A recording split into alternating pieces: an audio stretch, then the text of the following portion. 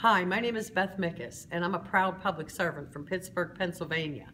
I'm also a member of SEIU Local 668. I'm here today to talk to you about Friedrichs, a case that was recently heard by the Supreme Court of the United States that limits the ability of firefighters, teachers, nurses, and public servants across this nation in their ability to secure better wages and build better communities. Wealthy special interest groups are worried.